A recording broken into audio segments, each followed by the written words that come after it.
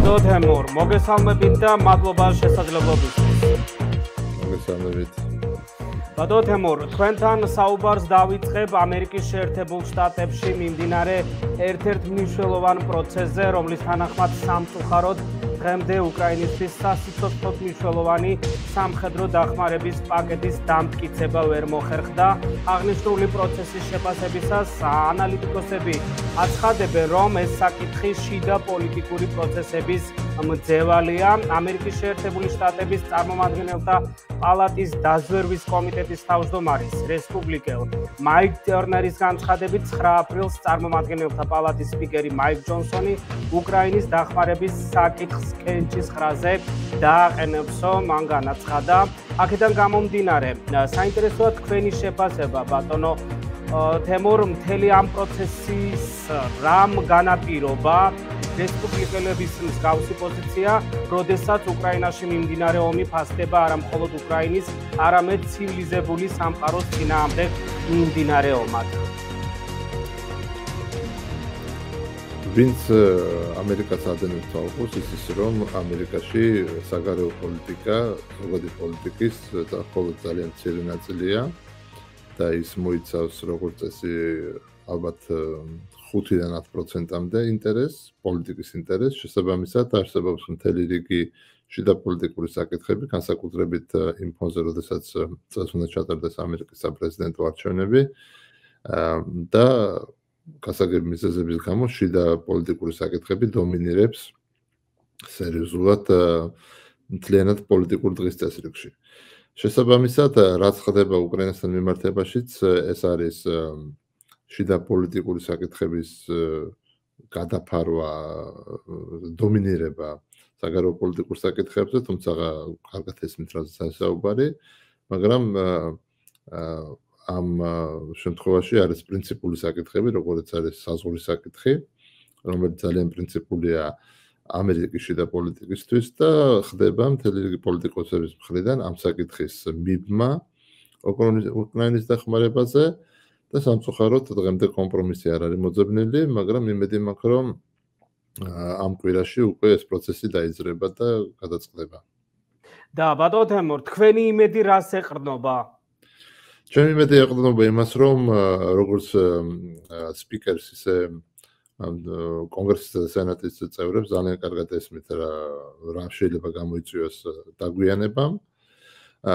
ასევე მათ კარგად აქვს გაცნობიერებული თავისი პასუხისგებლობა ამ საკითხებში. მინდა გითხრათ, რომ უკვე შიგნით მთელი რიგი პროცესებია დაწყებული. შეგროვილია ხელმოწერები კონგრესმენებისა და სენატორების მხრიდან, რომ ეს საკითხი გადაიჭრას. და მიმაჩნია რომ რაღაცა ფორმით ეს საკითხი აუცილებლად გადაიჭრება უახლოეს ერთი კვირის განმავლობაში. 9 აპრილს თუ მართლა მოხდა უკრაინის საკითხის დაყენება ექსპერტების განცხადებით დიდი ალბათობით დახმარების პაკეტი დამტკიცდებაო, თუმცა ბატო თემურ აქ არის კიდევ ერთი გამოწვევა, ასევე ანალიტიკოსები საუბრობენ აღნიშნულზე, იქიდან გამომდინარე, რომ დემოკრატების მოქმედ ადმინისტრაციასა და ნეთანიჰაუს შორის ურთიერთობები დაიძაბა, ეს კი რაფაში სახმელეთო ოპერაციის დაწყებას უკავშირდება, არსებობს ვარაუდი იმისა, რომ დემოკრატებმა შესაძლოა მაიკ ჯონსონის მიერ კონგრესში კენჭის ხრაზე დაყენებულ დახმარების პაკეტს მხარი არ დაუჭირონ, ვინაიდან უკრაინის სამხედრო დახმარების პაკეტი პაკეტი ისრაელის დასახმარებელ პაკეტსაც აერთიანებს. თქვენ ხედავთ მსგავს საფრთხეს და შეიძლება ამის გამოც შეფერხდეს ამ პაკეტების მიღება.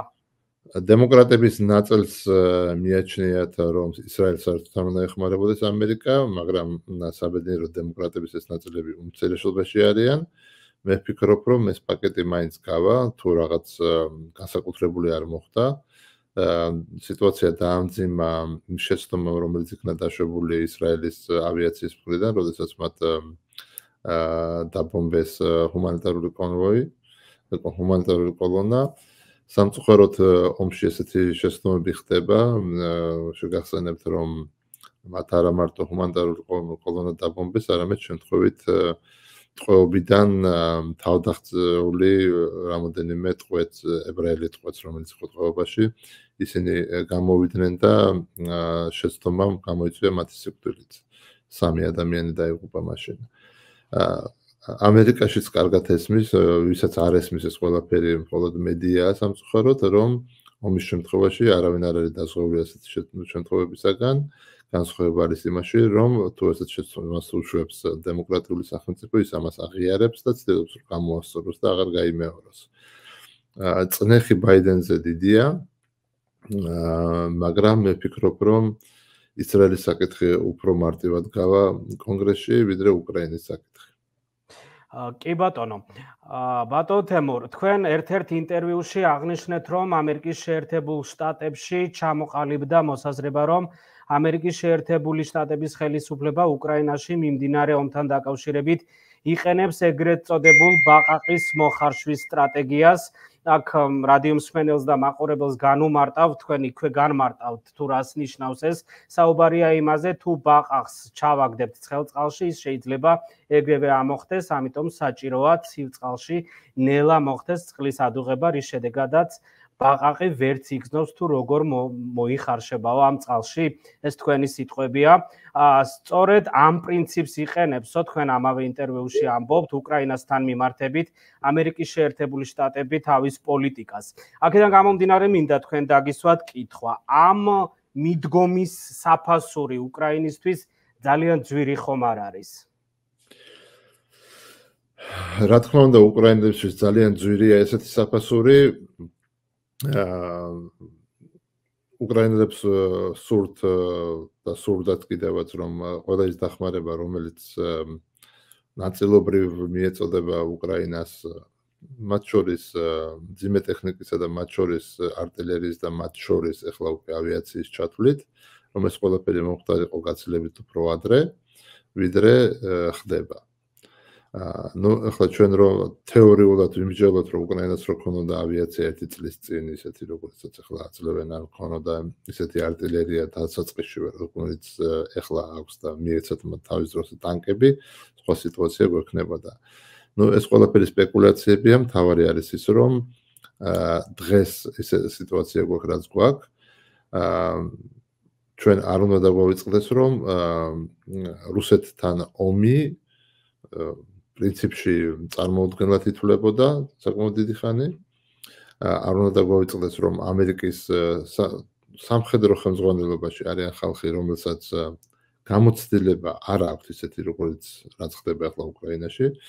ამ გენერლების და სამხედროების და ოფიცრების გამოცდილება არის ყოველთვის მათზე უფრო სუსტ პარტნიორთან სუსმოწინააღმდეგესთან ომი, იქნებოდა ეს ალ-კაიდა, ტალიბანი, სადამ ხუსეინი თუ ასე შემდეგ. თუ ისლამური სახელმწიფო, როდესაც მათ ჰქონდათ გაცილებით დიდი უპირატესობა სამხედრო თვალსაზრისით თვალსაზრისით. შესაბამისად ზუსტად იმის დადგენა თუ როგორ უნდა ეომო ბირთვულ რუსეთს არავინ არ იცოდა და არავის არ ჰქონდა პასუხი ამით არის გამართლებული ის ფრთხილი მიდგომები, რომლებიც ამერიკის შეერთებული შტატების ამ ადმინისტრაციას ჰქონდა, რომელიც ასევე აისახება ამ ბაღაკის მოხარშვის სტრატეგიაში. აა კი ბატონო, ასევე მინდა გკითხოთ ორი კითხვა მექნება უკრაინასთან დაკავშირებით, შემდეგ უკვე საქართველოსეც მინდა მოვასრო თქვენთან კითხვის დასმა. ბატონო თემურ, როგორ ფიქრობთ, გასაგებია თუ რასურს რუსეთს და უშუალოდ პუტინს უკრაინასთან მიმართებით. როგორ ფიქრობთ, საბოლოოდ ჩამოყალიბდა დასავლეთი თუ რასურს ამ ომის შედეგად და რა მაქვს აქ მხედველობაში? მაქვს მხედველობაში გასაგებია, რომ ყველა თან ხვდება იმაში, რომ უკრაინამ უნდა გამოიმარჯოს ამ ომში. თუმცა სხვადასხვა მოსაზრებები არსებობს თუ როგორ უნდა დამარცხდეს რუსეთი ამ ომის შედეგად. ამ ნაწილში დასავლეთი ჩამოყალიბებულია თქვენი აზრით? ეს არ არის დასავლეთის საქმე რომ ჩამოყალიბდეს ამ ნაწილში, დასავლეთმა უნდა უზრუნველყოს სისტემის შენარჩუნება, საერთაშორისო სისტემის შენარჩუნება, რომლის გარეშეც ჩვენ დაუბრუნდებით არა მეორე მსოფლიო ომის, არამედ პირველი მსოფლიო ომის წინა პერიოდს, რომელიც საკმაოდ არასასიამოვნო პერიოდი იყო. უკრაინისთვის გამარჯვება ხშირად მიწევს ამის გამეორება სამწუხაროდ ნიშნავს სამ რამეს. ეს არის მისი ტერიტორიული მთლიანობის აღდგენა ეს არის მიყენებული ზიანის ანაზღაურება და გადაცებული ბავშვების დაბრუნება. არავინ არ საუბრობს რუსეთის ტერიტორიაზე შეჭრაზე, არავინ არ საუბრობს რაღაც სხვა ფორმებზე, უკრაინას სურს დაიბრუნოს აცარი თავისი, ანაზღაუროს რუსეთმა ის ზარალი, რაც მიაყედა და დაუბრუნოს გადაცებული ბავშვები. ეხლა სპეკულაციები იმის თაობაზე თუ მე რა მოხდება შეგნით რუსეთში, რუსეთი დაიშლება, არ დაიშლება, ეს არ არის დასავლეთის გადასაწყვეტი, ეს თვითონ რუსების გადასაწყვეტია. დასავლური ექსპერტები რასაც აგურდებიან არის ის რომ რუსეთი ნენდელა ხდება ძალიან სერიოზულად დამკვიდრებული ჩინეთზე ეკონომიკურადაც და სხვა თვალსაზრისითაც და ხლა ჩემს გარშემო მიცარია ხალხი ძალიან ბევრს საერთოდ არ სურთ რუსეთის დაშლა მიუხედავად იმისა რომ რუსები რას ლაპარაკობენ. ან და არავის არ სურს ამ უზარმაზარ ტერიტორიაზე ვაკუუმის გაჩენა. მით უმეტეს როდესაც ამ ვაკუუმში ბირთვული იარაღის ძალიან დიდი რაოდენობა. აქედან გამომდინარე მე ვიტყოდი რომ ეს ასე ვთქვათ ინტელექტუალური საუბრები ამის გარშემო უფრო თეორიულ ხასიათს ატარებს და ყველაფერი მაინც გადასაწყვეტი იქნება თვითონ რუსეთის მოსახლეობის და რუსეთის პოლიტიკური ხელმძღვანელობის.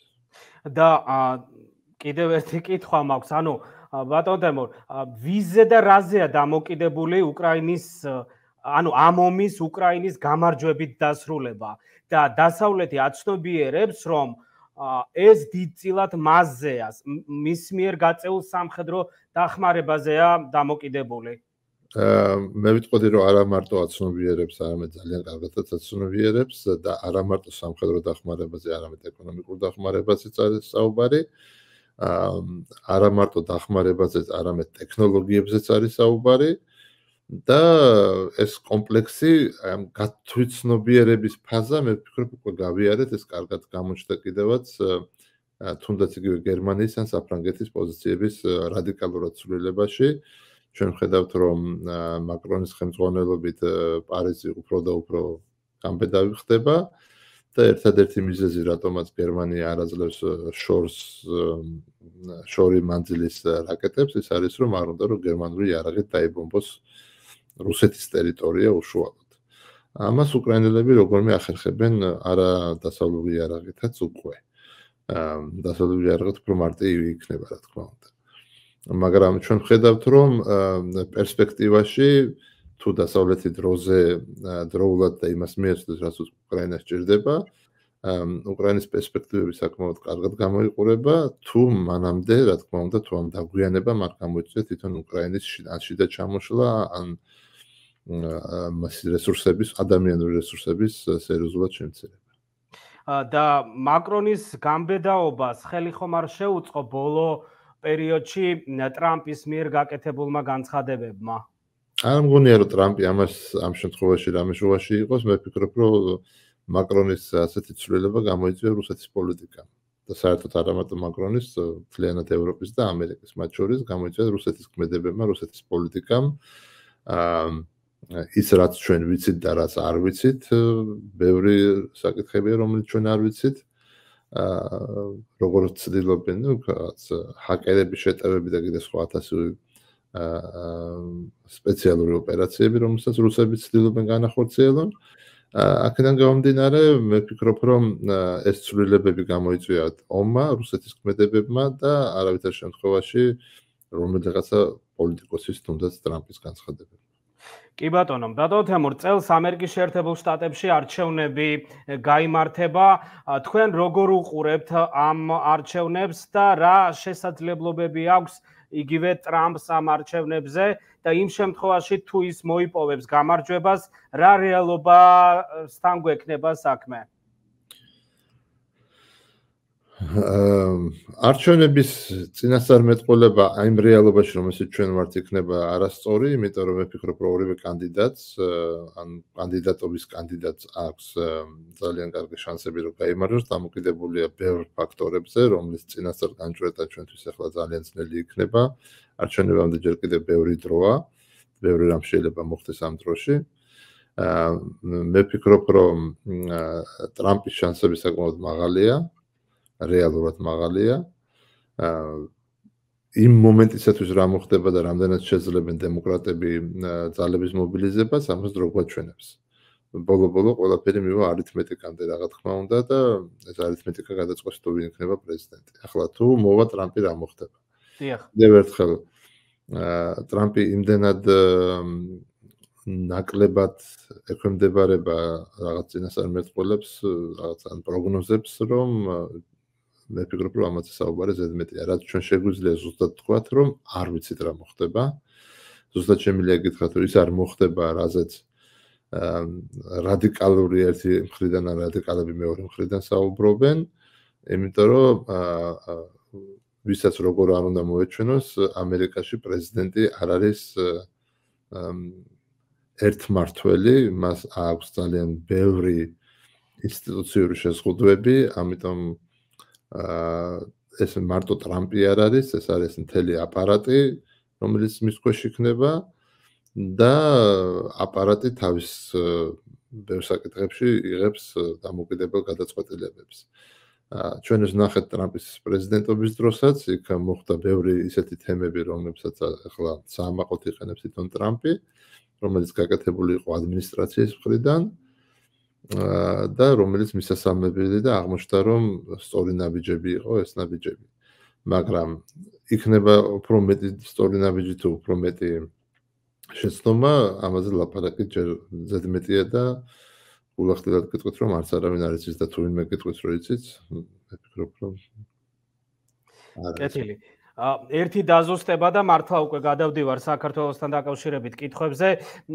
ბატონო თემურ, თუ 9 აპრილს არ მოხდა და ვერ მიიღეს მხარდამჭერი პაკეტები, მას შემდეგ რა პროცესი გველოდება? ანუ უკვე აღარ დადგება ეს საკითხი კლავ კლავ არა, საკითხი აუცილებლად დადგება, იმიტომ რომ ამ საკითხის ჩაგდება ნიშნავს სხვა საკითხების ჩაგდებასაც, რომელიც ასე უსასრულოდ ვერ გაგრძელდება.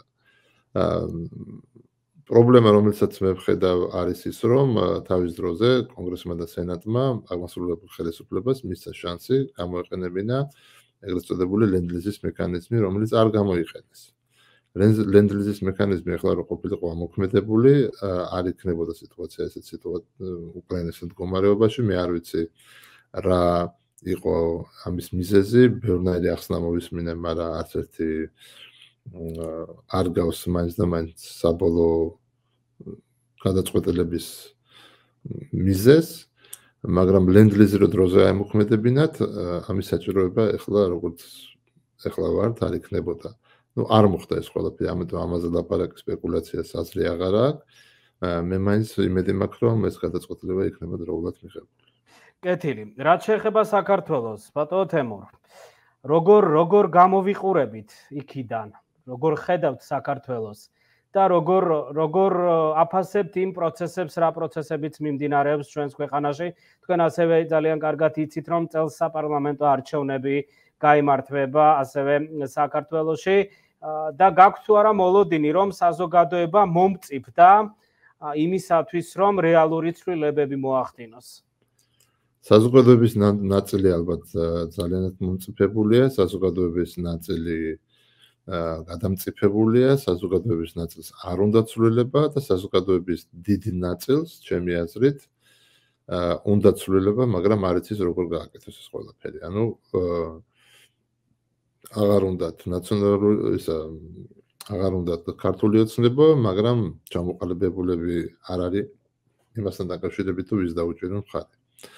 აა საქართველოს საკმაოდ ცუდად გამოიყურება ანუ ის რასაც ქვია რომ რადარებიდან გაქრა სამცხარო ცინამდვილეა როცა ლაპარაკი დგება უკრაინის საკითხებზე მოლდოვა უფრო მოყვება ვიდრე საქართველო. და ეს ძალიან სამწუხაროა. მომას ძალიან ბევრი მიზეზი აქვს მე ამაზე აღარ მინდა ახლა საუბარი ადრესთან ლაპარაკები მაქვს. აა ჩვენ ვხედავთ ტენდენციას რომ ხელისუფლება შესულია უკვე წინასაარჩევნო რეჟიმში და ვინც პოლიტექნოლოგიებს კარგად იცნობს კარგად შეუძლია გაშიფროს რასაც ცდილობს თავრობა რომ გააკეთოს. თავრობის პოლიტექნოლოგიურად თავრობამ უნდა შექმნას მტრის ხატი და მე თავისთავად გამოაცხადოს აი ამ მტრის დამარცხების ერთადერთ ალტერნატივად. რასაც ისინი ახლა აკეთებენ ადრე თუ იყო სისხლიანი 9 წელიწადი და მიშა მოდის, მე რე თუ იყო რომ აბა ომი გინდათ ეხლა როგორც ჩანს პოლიტექნოლოგიებმა ურჩიეს რომ ეგრეთ წოდებული LGBT თემა უნდა აირჩიონ. ეს წარმოაჩინენ ყველაზე მთავარ საფრთხეთ და ასე ვთქვათ გარანტორები რომ ეს არ მოხდება უნდა თავისთავად წარმოადგენენ ამის გარანტორებად. ამის ნაწილია არასამთავრობო ორგანიზაციების წინააღმდეგ გაგორებული კამპანიაც ანუ ჩვენ თუ ამას განვიხილავთ წმინდა პოლიტექნოლოგიური ჭრილით ძალიან მარტივად ხასაგებია თუ რაც ცდილობენ ისინი გააკეთონ. და რაც შეეხება ოპოზიციას ოპოზიცია სამწუხაროდ ძალიან დაგსაქსულია მე არ ვიცი და აქედან ვერ ხედავ შეძლებს თუ არა ოპოზიცია გარეთიანებას თუ შეძლებს ძალიან კარგი მაშინ ეს იქნება სერიოზული ძალა რომ პოლიტიკური პროცესი დაბრუნდეს საქართველოში. საქართველოს ერთ-ერთი პრობლემა არის ისიც, რომ პოლიტიკური პროცესი მკვდარია. აა არ ხდება შეჯიბრობითობა არც იდეების, არც პოლიტიკის, არც სხვა საკითხებთან მიმართებაში. აა ბოლოს როდის ნახეთ თქვენ ხელისუფლების და ოპოზიციის რომელიმე ოპოზიციური პარტიის წარმომადგენლის დებატები ტელევიზორში, როდესაც ისინი განიხილავენ რამე რაღაცაკეს, თუნდაც არ ვიცი მე რაღაც. სოფლის მეურნეობის საკითხს. სამწუხაროდ ხო. ანუ პოლიტიკური პროცესის ნაწილია ასეთი განხილვები, სამწუხაროდ ეს არ ხდება. უკვე არაფერს ლაპარაკობ ოპოზიციის საკმაოდ დასაბუთებულ წუხილზე, რომ ხელისუფლება ცდილობს манипуляციების გზით ისევ დარჩეს ხელისუფლებაში, საარჩევნო манипуляციების გზით. ამიტომ თუ საქართველოს პოლიტიკური პროცესი არ დაბრუნდა, მაშინ არც არჩევნებს აკაზრით, არც არაფერს, რასაც დემოკრატიის დემოკრატიული სახელმწიფოს შიგნით უნდა ხდებოდეს. აა ბადოდემურ თქვენი შეფასება მაინტერესებს ასევე მოვისმინე ერთ-ერთ ინტერვიუში ამბობთ რომ საქართველოს ხელისუფლებისთვის არ არის პრიორიტეტული ამერიკის შეერთებულ შტატებთან ურთიერთობების გაღრმავება და ზოგადად ეს მიმართულება მე სხვაგვარად მინდა დაგისვა თქვენ კითხვა ამერიკის შეერთებული შტატებისთვის თუ არის საქართველოს და ჩვენი რეგიონი პრიორიტეტული ამ ეტაპზე ალბათ სწორი იქნება თქვა რომ საქართველოს განიხილავენ ძირითადად უკრაინა-რუსეთის პრიზმაში. რაღაცა კუთხით ალბათ განიხილება როგორც ახლო აღმოსავლეთთან ახლოს მყოფი ქვეყანა ირანთან და თურქეთთან მიმართებაში და როგორც კორიდორი ცენტრალურ აზიისთვის უფრო ნაკლებად. ანუ ეს ვისაც აინტერესებს. რადგან თვითონ ნავთობის თემა აღარ არის ისეთი აქტუალური როგორც ის იყო თუნდაც 30 წლის წინ ას ენერგეტიკული კორიდორის თემაც აღარ არის უკვე ისეთი აქტუალური როგორც იყო შესაბამისად ინტერესები რა თქმა უნდა უფრო ფოკუსირებულია ისეთ თემებზე რომლებიც მთლიანად რეგიონს და მსოფლიოს ცვლიან როგორც არის ომი უკრაინაში და ამ თვალსაზრისით საქართველოს ასე ვთქვათ შეიძლება იყოს საინტერესო უკვე რაღაც რიგითობიების შემდეგ. აა ის პეცი რომელიც საქართველოს ქონდა აღარ აქვს სამწუხაროდ, როდესაც ჩვენ ვიყავით აა მოწინავე ქვეყანა რეფორმების საკითხებში, კორუფციასთან ბრძოლის საკითხებში და კიდევ განვითარების საკითხებში. აა და ეს გასაკვირიც არ არის, იმიტომ რომ საქართველოს დღეს იმართება მხოლოდ ერთი კაცის მიერ და სახელმწიფო ინტერესების აღრევა ხდება პირად ინტერესებთან, ამიტომ ბიზნა ივანიშვილის გადასაწყვეტია საქართველოსში რა მოხდება. და არა რომ ინემე მინისტრის ან პრემიერ-მინისტრის ან ვინც არ უნდა იყოს და ეს ყველასთვის საქართველოსში ძალიან კარგად არის ცნობილი და საქართველოს გარეთაც. კი ბატონო, ჩვენ პრაქტიკულად ამოვწურეთ ჩვენი დრო. ბატონო თემურ, ანუ რეგიონში შეხედა, აქედან გამომდინარე ერთ კითხვას დაგისვამთ, რეგიონში ძალიან მნიშვნელოვანი პროცესები მიმდინარეობს და განხორციელდა მე მაქვს საკუთხედველობაში აზერბაიჯანის და თურქეთის პოზიციების გაძლიერება ეს კი მოხდა აზერბაიჯანის მიერ ყარაბაღის საკითხის მოგვარების შედეგად, რაც როგორც ფასდება ახალი რეალობა შეიქმნა ჩვენს რეგიონში. ამის გათვალისწინებით საქართველოს დღევანდელ როლს და ნიშნულობას ჩვენს რეგიონში თქვენ როგორ აფასებთ? საქართველოს თუ არ გახდა მოთამაშე, მაშინ საქართველოს იქნება სუბიექტი, ნაცვლად ობიექტი საგარეო პოლიტიკაში. აა ბიზნა ივანიშვილმა სამწუხაროდ ხელისუფლებაში მოსვლის თანავე განაცხადა, რომ საქართველოს არ უნდა იყოს საგარეო პოლიტიკის სუბიექტი, რომ ჩვენი საქმე არ არის, დიდები გადაწყვეტავენ და ჩვენ უნდა ვიყოთ ობიექტი. და ნუ როცა ხარ ობიექტი, ყოველსაც ბევრს არავინ არ გეკითხება. ამიტომ საქართველოს რეალობა არის ასეთი, რომ მოსახლეობას უნდა ერთი და ხელისუფლება აკეთებს მეორეს. არავისთვის დასამალი არ არის, რომ საქართველოს ევროკავშირის კანდიდატობის სტატუსი მიცეს არახელისუფლების დამსახურების გამო, არამედ სხვა გეოპოლიტიკური ინტერესებიდან გამომდინარე. აა ახლა ის პროცესები, რომელიც დღეს მიდის, უფრო მეტად აშორებს საქართველოს. ევროპისაკენ და ევროპისგან და ამერიკასთან ზოგადად დასავლეთისგან. აა და როგორც ხომალდი რომელსაც ღუზა არ აქვს ჩაგდებული მას შტორმი ასე თქვა მიახეთქებს და მოახეთქებს სხვადასხვა ნაპირებს. აი ესეთ მდგომარეობაში დღეს საქართველოს და მას ღუზა არ აქვს ასეთ ჩაშებული და ეს ღუზის გარეშე საერთოდ ქარი დაუბერავთ იქით მიგვაქანებს და ამ შემთხვევაში ქარი არის არა მარტო ჩვენი გეოპოლიტიკური სიტუაცია ჩვენს გარშემო არამედ ეს ამ გეოპოლიტიკური ტალღების ზე უფრო მეტად საქართველოს ზემოქმედებს ერთი კაცი. ამიტომ გეოპოლიტიკური სპეკულაციები სრულიად უადგილოა იმ რეალობაში, როდესაც შენ ამ დინებებს კი არ მიყვები, არამედ გაგშენი დიდი ალქანი, რომელსაც ახალად ქვია ბიზნა ივანიშვილი და ამ იალქნის მიმართულებით მიდიხარ. კი ბატონო და მე ორ კითხვას გავაერთიანებ და ამით დავასრულებ კითხვის დასმას ბატონ თემურ. ერთ პირველი კითხვა იქნება ის, რომ თქვენ ის პოლიტიკა, საგარეო პოლიტიკა, რომელსაც ახორციელებს დღეს საქართველოს ხელისუფლება, ეს რა ტიპის პოლიტიკა არის? ჩვენ ხელისუფლების მხრიდან ვისმენთ, რომ ეს არის პრაგმატული პოლიტიკა, საგარეო პოლიტიკა. თქვენ როგორ აფასებთ რა რა რა ორიენტაციის არის ეს საგარეო კურსი და აქვე გითხავთ რუხი ზონები რუსეთის სამეზობლოში მხოლოდ მწვანე შუქია ვლადიმერ პუტინის აგრესიისთვის განაცხადა ესტონეთის საგარეო საქმეთა მინისტრმა ამერიკის ხმასთან ინტერვიუში. აქედან გამომდინარე, მიიჩნევთ თუ არა საქართველოს რუსეთის რუხ ზონად? მე ძალიან მინდა მჯეროდეს რომ ასე არ არის, მაგრამ სამწუხაროდ ეს არ არის რუხი ზონა, ეს სხვა ფენომენთან აქვს ჩვენ საუბარი. საქართველოს საგარეო პოლიტიკა, როგორც ასეთი, არის დამოკიდებული იმაზე, თუ როგორ ხედავს ბიზნესა ივანიშვილი დღეს ამ მონაკვეთში მის რისკებს, საკუთარ რისკებს და საკუთარ კეთილდღეობას. საქართველოს საგარეო პოლიტიკას არაფერი საერთო არ აქვს საქართველოს როგორც სახელმწიფოს ინტერესებთან მიმართებაში. ეს რო იყოს სხვანაირად, მაშინ ეს პოლიტიკა იარსებოდა.